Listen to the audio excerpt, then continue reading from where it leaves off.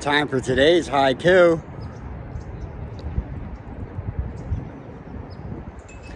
Balboa Park Bridge.